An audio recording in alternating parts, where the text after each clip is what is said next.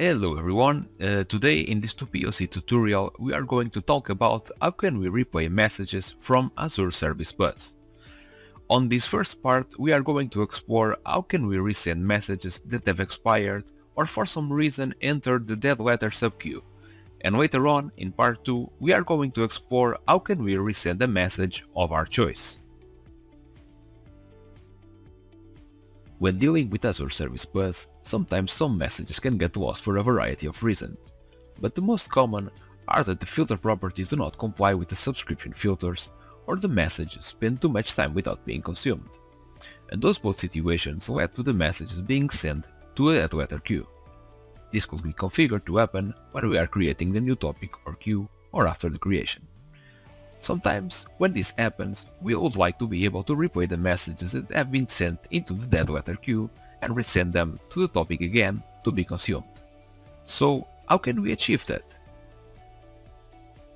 First and foremost, you need to create an Azure Service Bus namespace, and to do that, access the Azure portal and in the search bar, search for Service Bus. Click on it, and next click on Create. Next, you will have some fields to populate, like the subscription, the resource group, the namespace name, location, and pricing tier. And regarding the pricing tier, and for the sake of this POC, we are using the standard pricing tier to have access to topics. Next, click on Review plus Create, wait for validation, and create the Azure Service Bus namespace. After having the namespace created, you will see that you'll be able to create queues or topics. Let's go with the last one, so click on Add Topic. Give a name to the topic you want to create and click on Create. Next, click on the topics on the lateral menu to access the topic we created and click on the name of the topic. This way, you will enter the topic. But you are probably wondering, what are a topic in Azure Service Bus? Topics in Azure Service Bus are a messaging feature that helps organize and manage messages within a messaging system. Think of them as a virtual channels or categories for messages. A simple breakdown will be Messaging organization. Topics allow you to categorize messages into different subjects or topics. Each topic represents a specific stream of messages. Publish and subscribe model. Topics are often used in a publish-subscribe, pub-sub messaging pattern. Publishers send messages to a topic and multiple subscribers can subscribe to that topic to receive messages. Message routing. Messages sent to a topic can be automatically routed to one or more subscribers, based on filtering rules. This enables targeted delivery of messages to a specific subscriber. Scalability and flexibility. Topics help in scaling and decoupling applications. They allow you to send messages to a central topic and subscribers can independently consume messages without direct dependencies on, on publishers. Topics in Azure Service Bus provide a way to organize and distribute messages efficiently, making it easier to build scalable and decoupled messaging systems. As we explained previously, in the topics you can have subscriptions. These subscriptions can be about a variety of things, like for example, the news about the market value of Microsoft.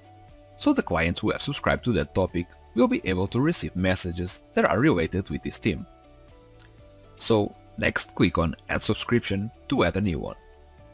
Now for the sake of this POC, we are not going to let the message live very long, because we are testing as if this is a scenario where the message ends up in the dead letter queue after the time of live of the message has expired, or as if something was wrong with the filter of the subscription.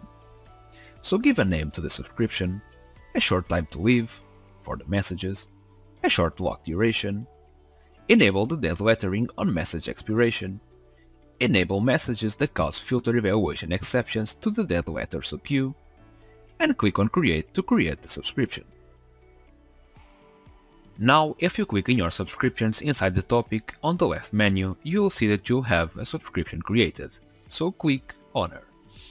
Now, inside the subscription is where you insert the filter that you want to be associated with your messages, so they can be consumed by those who are subscribed for receiving this kind of messages. Scroll down and as you can see, you just need to click on Add Filter and write the SQL filter you want to be associated with your message. These are like key pair, key and value. In this case, we used user.demofilter equals demo, as demo filter being the key and demo being the value.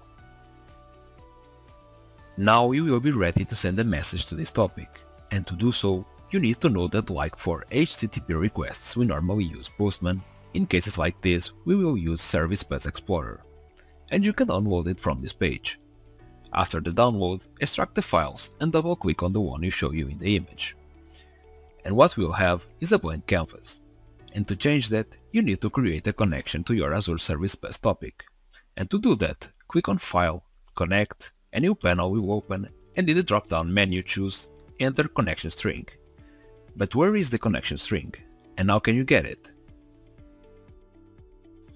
Back in Azure Service Bus in the Azure portal, access your topic, and on the left panel click on Shared Access Policies.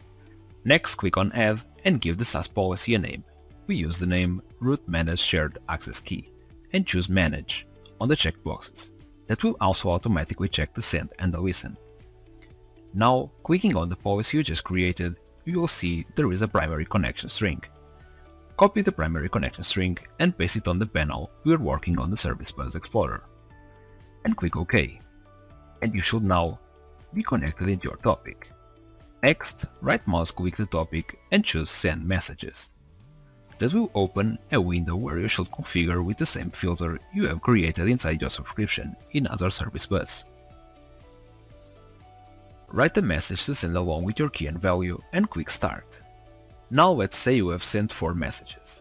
If you go to your subscription in Azure Service Bus, you will see that the message count is 4, that the active messages are 4, but if you keep refreshing, about 20 seconds later, the message is now on the dead letter queue. From here, we know that those messages will stay there and can no longer be consumed. So how can we achieve the goal of replay those messages into the queue again containing the same information. As you should expect, we will need a logic app, and as you already know, search for logic apps in the Azure portal search bar and click on it.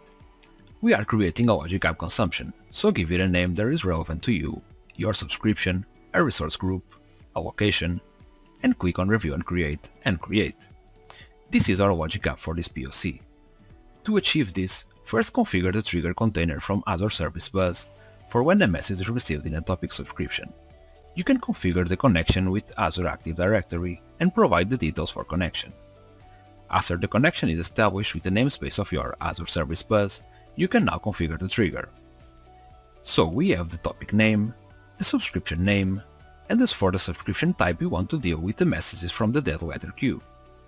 How often to search for new messages, we define it for 30 seconds. Now if we send a message via Service Bus Explorer, the logic app will run and those will be the outputs in the trigger. Knowing this, we can now use another shape in our logic app flow to send the messages into the queue again. So we just added a new action from the Azure Service Bus, this time a send message, and we configure it like this. You can add more parameters according to your needs, but to make it work you will definitely need the properties. This is because it was there that the key and value are passed and the filter in the subscription can recognize that as a valid message. Now if you save your logic app and wait for 30 seconds and wait again for 30 seconds, what we will see is that the logic app runs after these 30 seconds, getting the messages that entered into dead letter queue and replay them into the topic main queue. And that happens because we have settled a short time to live for the messages in that queue and also a short time to lock the messages. In a way, this could become an infinite loop. As you can see in these runs, the four messages enter the main queue.